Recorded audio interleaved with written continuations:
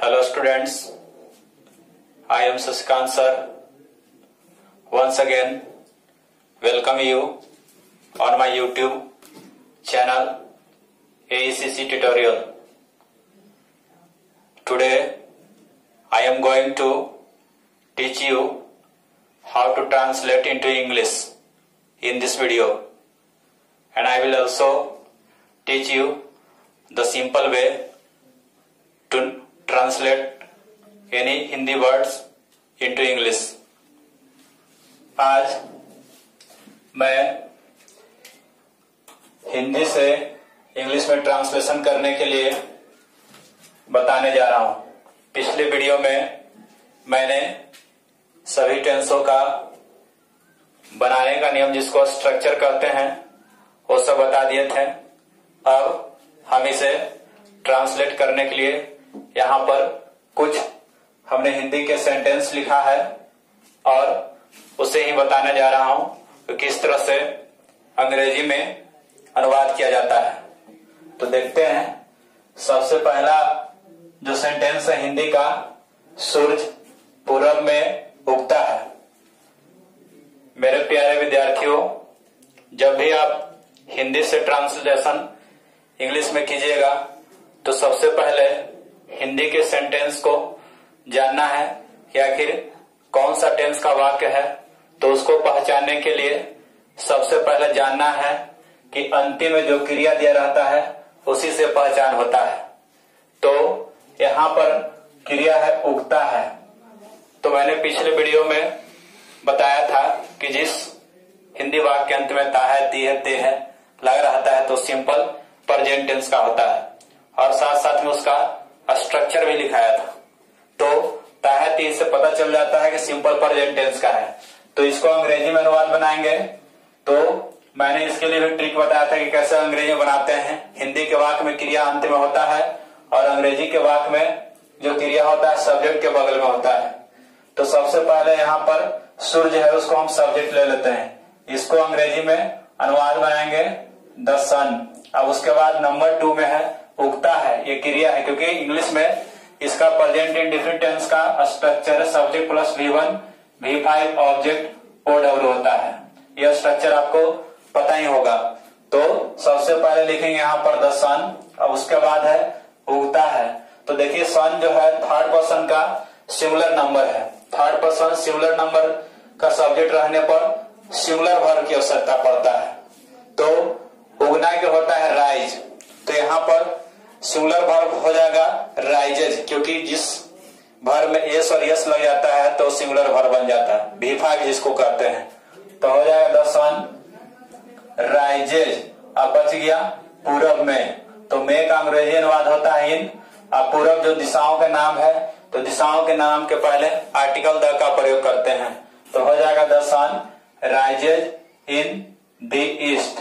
अब यहाँ पर भी ढेर विद्यार्थी को द और दी में अंतर फ़र्क नहीं पता चलता है तो मैं बता देता हूँ कि जब यहाँ पर ई जो है, वो वॉवेल साउंड दे रहा है, इसीलिए हम इसको दी पढ़ते हैं। अगर यहाँ पर कोई कॉन्सोनेंट साउंड देता कॉन्सोनेंट से शुरू होता तो हम यहाँ इसको टी एच ई को द पढ़ते हैं।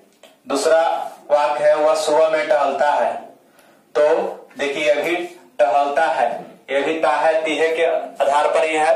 तो अभी सिंपल प्रेजेंट टेंस का है। तो इसको बनाएँगे, वह इंग्लिश लिख देते हैं ही टहलना के होता है वॉक तो भी फाइव हो जाएगा वॉक्स तो ही वॉक्स उसके बाद में है तो इन अब उसके बाद सुबह में तो यहाँ पर लिख देंगे इन द मॉर्निंग तो he walks in the morning दूसरा वाक भी हिंदी से, अंग्रेज़ी में आसानी से बन गया। सबसे पहले सब्जेक्ट देखेंगे, टहलता है नंबर टू पर रखेंगे। और उसके बाद बच गया क्या? सुबह में। तो सुबह में तो अंग्रेज़ी अनुवाद होता है इन द मॉर्निंग तो हो गया he walks in the morning सब ये दोनों वाक जो है भी वन और भी फाइव के स्ट्रक्चर से ही बन रहा है। दोनों सेंटेंस जो अफर्मेटिव है। मैंने पूरा एक से लेकर तेरह तक अफर्मेटिव सेंटेंस लिखा है, और कुछ यहाँ पर दो नेगेटिव सेंटेंस लिखे हैं। आगे और भी बताया जाएगा, इस पैटर्न से पहले इसको देखते हैं। फिर है, राम प्रतिदिन सुबह में टहलता है। ये भी ताहती है, पर ही आधारित है। तो ये भी सिंपल प्रेजेंट टेंस का है। तो यहाँ पर सबसे पहले सब्जेक्ट ले लेंगे राम, उसके बाद टहलता है। तो टहलना क्या होता वाक? राम है जो थर्ड पर्सन के सिमिलर नंबर इसलिए वाक्स हो जाएगा। तो राम, वाक्स, अब उसके बाद दिया हुआ है, सुबह में भी है और प्रतिदिन भी है। अगर ऐसा प्रतिदिन दिया रहे सुबह में दिया रहे तो सबसे पहले उसको हम इस तरह से बना लेंगे। राम वाक्स यहाँ पर लिख देंगे everyday Ram walks everyday in the morning अगर आपको ऐसे नहीं लिखते हैं तो ऐसे भी लिख सकते हैं कि Ram walks in the morning everyday everyday को अंत में भी रख सकता है। दोनों ठीक है। तो यहाँ एक, दो और तीन। तीन सेंटेंस जो था, होता है पर आधारित है सिंपल प्रेजेंट टेंस का था। इस तरह से पहचान लिया ताते थी को प्रेजेंट जानो, थाते थी को पास्ट गागी को फ्यूचर चुका चुकी लिया है आवे तब परफेक्ट कहलावे से आकर समय बतलावे परफेक्ट कंटिन्यूस कहलावे, और रहा रही अकेले आवे तब कंटिन्यूस कहलावे।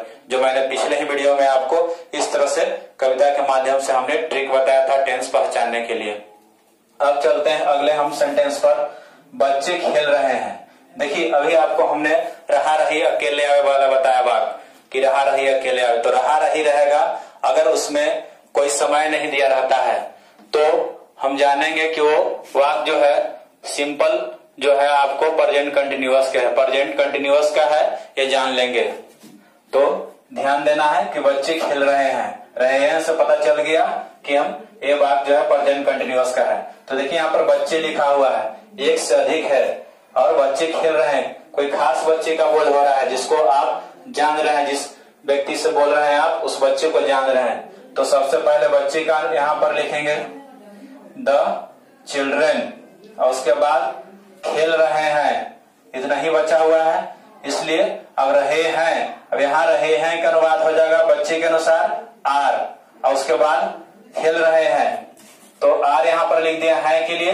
और खेल रहे के लिख देंगे अंग्रेज़ी अनुवाद playing the children are playing तो ये जो है स्ट्रक्चर हो गया am is are plus V four पर बन गया। प्रेजेंट कंटिन्यूस का स्ट्रक्चर होता है am is are plus V four तो बच्चे के अनुसार आर लिए यहाँ पर। सीता इन दिनों संगीत सीख रही है। यहाँ से भी पता चल गया कि वाक जो है प्रेजेंट कंटिन्यूस का है। क्योंकि रहा रही, अकेले आवे तब कंटिन्यूस कहलावे। तो देखिए यहाँ पर पहले सबसे पहले लिखेंगे सीता, अब उसके बाद रही है। अब सीता है जो थर्ड पर्सन के सिमिलर नंबर है, इसलिए इसके साथ लगता है इज़ अब उसके बाद सीख रही है। है को लिख दिया हमने इज़ और सीख रही के हो जाएगा लर्निंग देखिए जब किसी चीज़ को हम करने के लिए सीखते हैं। तो उसमें हम वर्ड जो इंग्लिश का है लर्न का प्रयोग करते हैं। जैसे मोटरसाइकिल आप सीखते हैं शुरू शुरू में तो उसको लर्निंग कहते हैं। लाइसेंस बनवाना हो मोटरसाइकिल सीखते हैं उसके लिए तो लर्निंग कहा जाता है। तो इसीलिए हम यहाँ पर लर्निंग जैसे अंग्रेज़ी बोलने के लिए सीखना है तो उसमें भी हो जाएगा लर्निंग का प्रयोग होगा। जब किसी को विधि स्वरूप जानते हैं किसी दूसरे व्यक्ति के द्वारा तो लर्न करते हैं जब शुरू से। अब तो हो गया सीता इज़ लर्निंग अब उसके बाद, है ना? अब क्या सीख रही है? तो ऑब्जेक्ट देंगे म्यूज़िक अब उसके बाद अन्य शब्द है तो इन दिनों है।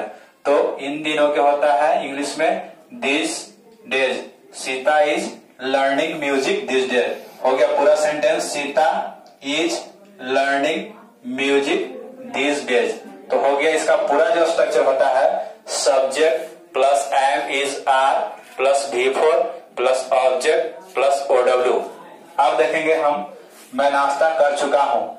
चुका चुकी लिया है आवे तब पर फे कहलावे। जिस वाक में चुका है, चुकी है, चुके हैं, लिया है, ये लगा रहेगा तो परफेक्ट का हो जाएगा। है हूँ से पता चलता है प्रेजेंट तो प्रेजेंट परफेक्ट हो गया। तो अब इसको मैं नाश्ता कर चुका हूँ।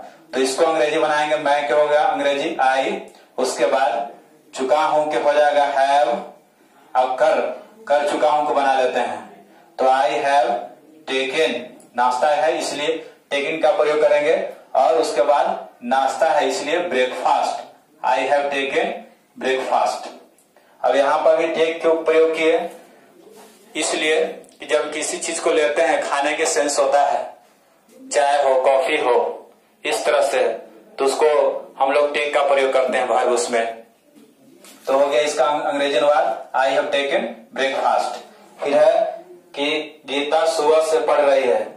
यहाँ पर देखिए, से आकर समय बदलावे परफेक्ट कंटिन्यूअस कहलावे, जो देख, समय लग जाता है और उसमें गतिशीलता का बोध होता है। जैसे कोई काम है, जो कोई निश्चित समय से पास्ट में शुरू हुआ और आने वाला समय में भी वो जारी रहता है तो परफेक्ट कंटिन्यूअस कहलाता है। तो इसीलिए हो गया ये प्रेजेंट परफेक्ट कंटिन्यूअस का वाक्य है। सुबह से पढ़ रही है, ये समय से पता चल गया। तो गीता अब यहाँ पर जानते हैं होंगे स्ट्रक्चर के हैज़ हैव के बाद बिल लगाते हैं, उसके बाद भीफोर लगता है। तो गीता हैज़ लगेगा सिंगुलर भर्व है। इस गीता सब्जेक्ट के अनुसार गीता हैज़ बीन अब उसके बाद क्या लिखा हुआ है? गीता सुबह से पढ़ रही, पढ़ना पढ़ना के मीनिंग होता है रीड तो भी फोर हो जाएगा reading Gita has been reading अब उसके बाद यहाँ पर हम क्या लिखेंगे? गीता सुबह से पढ़ रही है, बस। तो यहाँ पर अब बच गया क्या?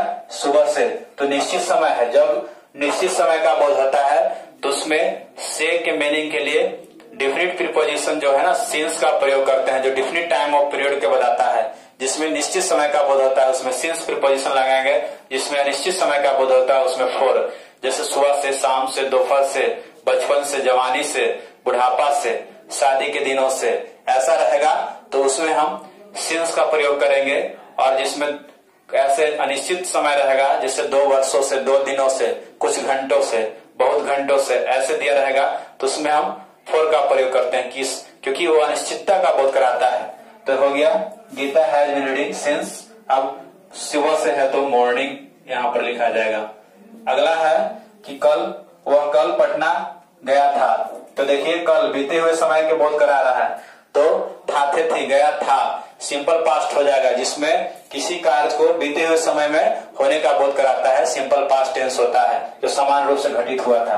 तो नंबर वन में वह हो जाएगा, गया था, दूसरा नंबर में ले लेंगे, उसके बाद पटना, तीसरा नंबर में ले लेंगे, और कल को चौथा नंबर पर रखेंगे। तो देखिए कल, कौन सा कल है जो बीत गया है, और आने वाला कल दो तरह के होता है। जैसे बीत गया है कल, उसके लिए हम यस्टरडे का प्रयोग करते हैं, और जो आने वाला कल होता है, उसके लिए टुमारो का प्रयोग करते हैं। तो ये तो बीते हुए बात बता रहा है। तो सबसे पहले वह तो ही अब गया था। जाना के मीनिंग होता है गो इसके लिए भीटू का प्रयोग करते हैं। जानते होंगे पास्ट इंडिफिनिट में क्रिया का दूसरा रूप लगता है भीटू तो ही जाना क्या होता है गो दूसरा रूप हो गया वेंट अब उसके बाद पटना है स्थान तो स्थान से पहले प्रिपोजिशन टू का प्रयोग करते हैं। तो ही वेंट टू पटना। अब उसके बाद बच गया क्या? कल हो गया? तो इसके यहाँ लिख देंगे yesterday he went to Patna yesterday वह कल पटना गया था। याद रखना यस्टरडे लगा रहेगा सिंपल पास्ट टेंस का वाक होगा। या एगोल लगा रहेगा सिंपल पास्ट टेंस का वाक रहेगा। अब यहाँ पर है, तुम्हारा मित्र तुम्हें बुला रहा था। रहा था लगा हुआ है। तो रहा है से प्रेजेंट कंटिन्यूअस रहा था से पास कंटिन्यूअस हो गया। था थे थी। तो तुम्हारा मित्र सबसे पहले रखेंगे बनाने के लिए। अब उसके बाद बुला रहा था दूसरा नंबर पर और तुम्हें हो जाएगा तीसरा नंबर पर। एक बात किसका है? तो पास कंटिन्यूअस का है। तो पास कंटिन्यूअस के क्या होता है बनाने के नियम? वाज वेयर प्लस बिफोर लगता है। सब्जेक्ट ऑब्जेक्ट कॉमन ले लेते हैं। तो तुम्हारा मित्र योर फ्रेंड अब उसके बाद बुला रहा था। सिंगुलर है, इसलिए लगा देंगे वास अब उसके बाद किसे बुला रहा था? अब बुला रहा था का मीनिंग लिखेंगे। योर फ्रेंड वाज लगा दिए था के लिए और बुला रहा। उसको बुलाना क्या होता? कॉल तो बिफोर हो गया कॉलिंग तो योर फ्रेंड वाज कॉलिंग और किससे बुला रहा था? तुम्हें। तो लास्ट में लिख देंगे यू तो पूरा ट्रांसलेशन हो गया। Your friend was calling you तुम्हारा मित्र तुम्हें बुला रहा था। अब है, रोगी मर चुका था। चुका चुकी। लिया है आवे तब परफेक्ट कहलावे। चुका था लगा हुआ है तो ये हो गया पास परफेक्ट का, जिसमें चुका था, चुकी थी। रोगी मर चुका था, मैं स्कूल पहुँच चुका था ट्रेन खुल चुकी थी। ऐसे दिया रहे तो समझिएगा कि पास परफेक्ट टेंस का वाक है। तो रोगी मर चुका था। तो रोगी के लिए सबसे पहले लिखेंगे सब्जेक्ट है रोगी तो हो जाएगा इसके लिए द पेशेंट रोगी के लिए होता है द पेशेंट आप जानते हैं कि पास परफेक्ट का स्ट्रक्चर मैंने बताया था आपको कि हेड प्लस वी थ्री लगाते हैं। तो पेशेंट के साथ लग जाएगा हेड उसके बाद आपको क्या करना है? मर चुका था। तो मरना के क्या होता है? Died the patient has died जो खुद से मरता है तो उसके लिए डाइड का प्रयोग करते हैं। जब कोई व्यक्ति किसी को मारता है तो किल का प्रयोग करते हैं। अब यहाँ पर देखना है कि वह पढ़ रहा था। रहा था। फिर हो गया पाँच कंटिन्यूस का। वह पढ़ता रहा था। अब याद देखिए पढ़ता लगा हुआ पढ़ रहा था और पढ़ता रहा था। दो अंतर है। याद रखिएगा। सिर्फ़ रह, पढ़ रहा था पढ़ता रहा था सुबह से पढ़ रहा था। जिसमें समय लग जाएगा सुबह से पढ़ रहा था। तो पास परफेक्ट कंटिन्यूस हो जाएगा। जिसमें खाली रहेगा पढ़ रहा था। तो पास कंटिन्यूस हो जाएगा। लेकिन पढ़ता रहा था। अर्थात ये जो कार्य है पढ़ने का वो किसी पास्ट में डिफरेंट समय में शुरू हुआ और वो कार्य अभी भी बोलते समय में भी वो कंटिन्यू था पास समय में। तो इसलिए पास कंटिन्यूअस का हो गया। तो पास कंटिन्यूस में कौन सा past continuous past perfect continuous का हो गया। तो वह पढ़ता रहा था। तो ही हैड इसके लिए आप जानते होंगे कि had been plus V four लगता है इसमें। तो ही हैड बीन और उसके बाद पढ़ना के रीड होता है। तो हो जाएगा reading he had been reading फिर देखिए, वह कल पढ़ना जाएगा। गागे की लगा रहा था फ्यूचर होता है। देखिए, बहुत सारे बच्चे पूछते हैं, सर फ्यूचर टाइम और फ्यूचर टेंस में क्या डिफरेंस है? तो मैं बता देता हूँ कि फ्यूचर टेंस तो ऐसे नहीं होता है, लेकिन फ्यूचर टाइम होता है। जिसको ऑक्सफोर्ड के बुक ने बच्चों को सुविधा के लिए फ्यूचर टाइम को फ्यूचर टेंस में ट्रांसलेशन बनाने के लिए, सुविधा के लिए ऐसा बना दिया ताकि बच्चों को फ्यूचर टाइम के महत्व को पता चल सके और जो उसे बनाने के लिए ही बताया गया है। ऐसे फ्यूचर टेंस नहीं होता फ्यूचर टाइम होता है। क्योंकि जो घटना जो है, उस घटना को बारे में बताता है, उसमें समय लगा रहता है। तो जाने जानेंगे वह कल पटना जाएगा। तो आगे की से हम फ्यूचर के बारे में जानते हैं। तो वह कल पटना जाएगा। तो देखिए, आने वाला कल का बोध हो रहा है। जैसे समय को मैंने बताया था एक वीडियो में कि present time past time future time होता है। तो कल पटना जाएगा वो कल हुआ नहीं है, बिता नहीं है, आने वाले में समय में होगा। तो देखिए, वह कल पटना जाएगा। तो ही, अब जानते हैं कि फ्यूचर टेंस के साथ लगता है cell will plus V one plus object तो यहाँ पर देखना है कि ही के साथ क्या लग जाएगा विल उसके बाद जाना क्या होता है गो अब स्थान है कहा? तो पटना। अब उसके बाद आ, आपको लिखना है कल के लिए तो he will go to Patna. आने वाला कल है इसलिए टुमारो हो जाएगा। He will go to Patna tomorrow फिर उसके पिताजी एक कार खरीदेंगे। ये आपका फ्यूचर टेंस के है आगे की। तो उसके पिताजी नंबर वन पर हो जाएगा। उसके बाद खरीदेंगे दूसरे नंबर पर और एक कार हो जाएगा तीसरे नंबर पर। तो सबसे पहले नंबर को हिज फादर उसके पिताजी के लिए लिखेंगे। हिज फादर क्योंकि हिज क्या है यहाँ पर? पोसेसिव एडजेक्टिव है। संबंध बता रहा है। उसके बाद क्या लाएगा? विल बाय खरीदेंगे कि हो जाएगा विल बाय और उसके बाद है लिखा हुआ एक कार। तो एक के लिए लिखते हैं इंग्लिश में a his father will buy a car हो गया। तो इस तरह से हमने पूरा फॉर्मेटिव टेंस में एक से तेरह तक दिए हुए अनुवाद को बताया है। कुछ और नेगेटिव हमने यहाँ पर लिखा है। उसको भी देख लेते हैं कि कैसे बनाया जाता है। जैसे इसमें लिखा हुआ है कि वह तुम्हें नहीं जानता है। तो देखिए ताहा से तो पता चल गया प्रेजेंट इंडिफिनिट और नहीं लगने से पता चल गया कि नेगेटिव वाक है।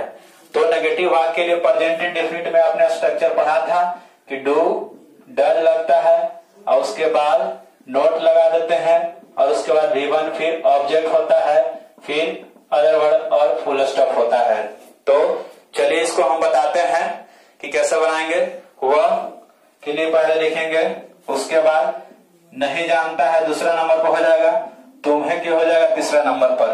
तो नंबर वन को क्या लिखेंगे? ही नहीं जानता है थर्ड पर्सन सिंगुलर नंबर है तो डज नॉट प्लस भी आ जाएगा। तो ही डज नॉट और जानना क्या होता है? नो अब बच गया क्या हमारे पास? तुम्हें। तो उसको लिख देंगे लास्ट में you he does not know you तो देखिए, वह तुम्हें नहीं जानता है। अब इसको हमने बनाने के लिए क्या बताया? सबसे पहले वह के लिख दिए ही नहीं जानता है, क्योंकि क्रिया अंत में दिया हुआ, इसीलिए डज नॉट नो अब बच गया क्या?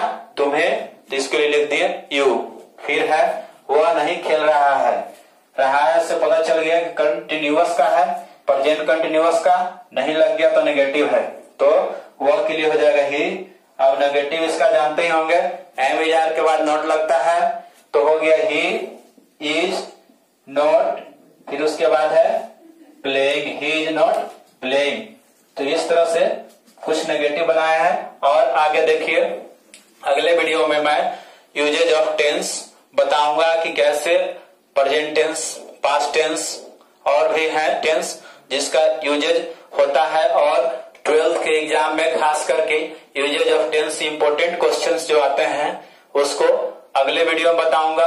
और इस टेंस में, पूरे टेंस का कुछ ऐसे स्पेशल स्ट्रक्चर दिया हुआ है। तो हम उसको भी एक अलग वीडियो बनाकर स्पेशल स्ट्रक्चर के अनुवाद के लिए special structure based on special structure translation बताएँगे। अगले वीडियो में, अभी आपको, अगर इस वीडियो में समझ में नहीं आया होगा तो इस वीडियो को फिर से रिवर्स करके शुरू से देखिएगा। बहुत ही सिंपली तरह से बताया गया है।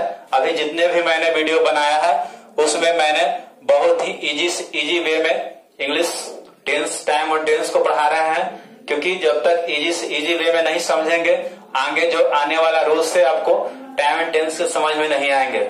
इसीलिए अगले वीडियो में सब और भी दिया रहेगा इससे रिलेटेड अभी आपको क्या करना है, अगर आपने समझा होगा, आशा करते हैं कि आपको ये वीडियो बहुत ही अच्छा लगा होगा। तो जब वीडियो अच्छा लगे तो उसको क्या करना है, आप जानते ही है।